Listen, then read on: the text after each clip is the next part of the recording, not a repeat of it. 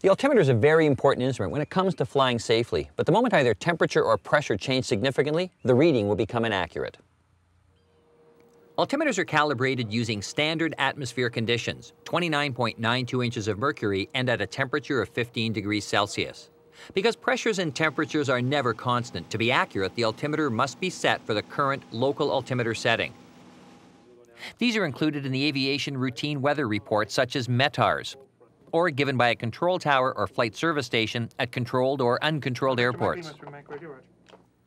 It's always a good idea to check the accuracy of your altimeter on the ground when you receive the altimeter setting. To be serviceable, its reading should be plus or minus 50 feet of the listed field elevation. Where the local altimeter setting is not available, it should be set to the field elevation of the airport as depicted in the Canada Flight Supplement. While en route, a flight from an area of high pressure to low pressure can falsely indicate more airspace below your plane than there actually is so it's important to update your altimeter while en route from the nearest available pressure source.